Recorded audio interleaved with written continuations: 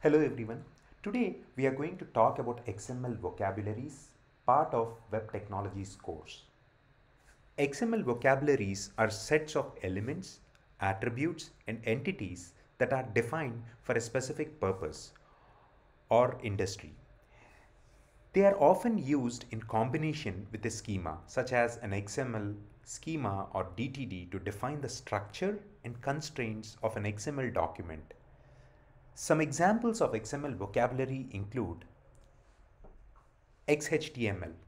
This is used for representing web pages and other online documents. SVG, a vocabulary for representing two-dimensional vector graphics. MathML is used for representing mathematical notations. Music XML, a vocabulary for representing musical notation. GML is used for representing geographic information.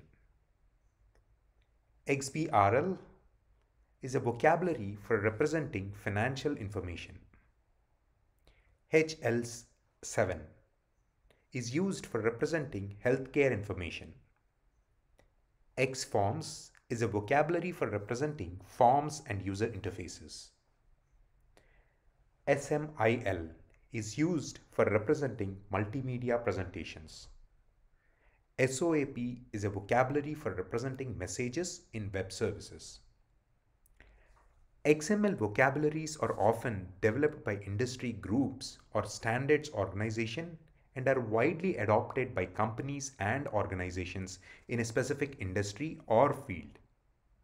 By using a specific XML vocabulary, companies and organizations can ensure that their data is consistent and can be easily exchanged and understood by other companies and organizations in the same industry. Hope this was helpful. Thank you for watching.